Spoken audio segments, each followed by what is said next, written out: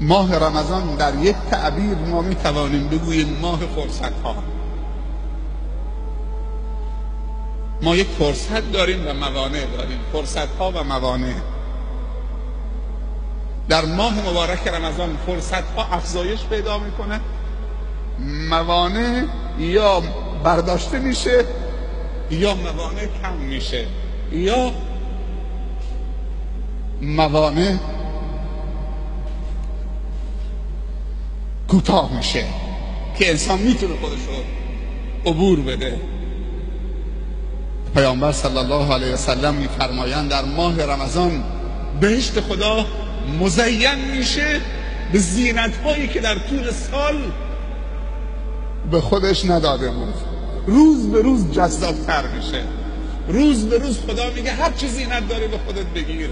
نزدیکی که بندگان روزدار من این کوله بار گناه از کولشون بندازن و به سوی تو بشتابن.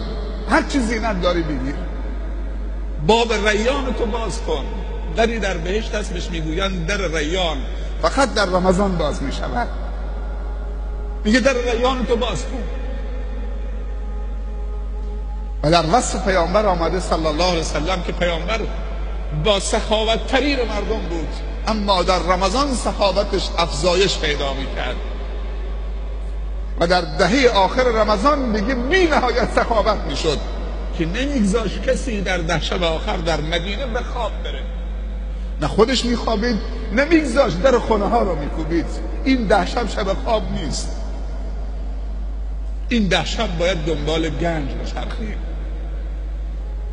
همینطوری که روزه رو خداوند در طول روز امتداد داده و در طول روز به تو ثواب میده و در طول شبم دوباره با قیام تراویح و قیام تهجد دوباره تلاوت قرآن صورت می‌گیره و در یک ماه امتداد داده امتداد ماه روزه رو خداوند میکشونه چه؟ حتی سنت ها رو دوباره کش داده. سنت ها رو کشیده برده معادل فرض کرده سبحان الله و فرض رو کشیده اینطوری دوباره افزایش داده به فرض. و هر فرض رو هفتاد برابر قرار داده. و همین جور ماه رمضان رو در دهه آخر خداوند افزایش میده. همونطوری که پیغمبر با سخاوت ترین میشه در دهه آخر. رمضان هم در دهه آخر با سخاوت ترین دوست میشه. به جایی می‌رسه که در یک شب خدا بهش اجازه داده معادل هشتاد و سه سال به تو ثواب بده. از این دیگه بالاتر؟ لیلت القدر خیر من الف شهر. از هزار ماه بهتره. البته این اون شب پاداش نیست شب قدر شب پاداش نیست. شب پاداش شب عیده آخرین شب ماه مبارک رمضانه اون جای خودشه.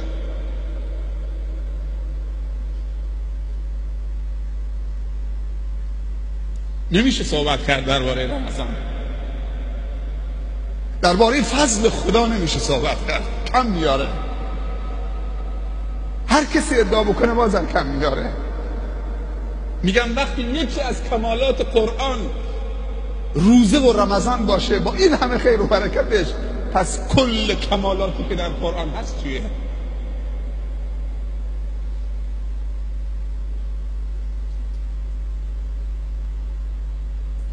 این ماه ماه فرصت هاست. اگر کسی با کسی قهر آشتی بکنه اگر کسی بخیل سخاوتمند باشه اگر کسی گناهکار توبه بکنه اگر کسی گمراه دنبال هدایت بره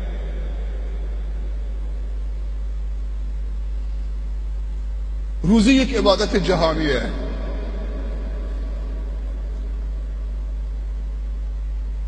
و رمضان خداوند تا در خونت هم کشونده. امتداد داده در کل دنیا.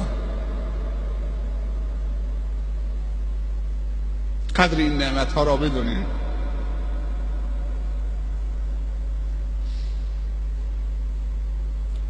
ما الان بهترین شبها در اختیارمون ولی افسوس که شغل مسلمان ها طوری شده که تو ماه مبارک رمضان بیشتر مشغول میشن. یعنی تو یازده ماه تو کار نکرده که یک ماه اگر کار گیرت نیاد یا مرخصی بگیری یا در مغازت قفل کنی در ساعتهای از روز یا شب به روزت بپردازی. نه به پاچت نه به قرآن بپردازی.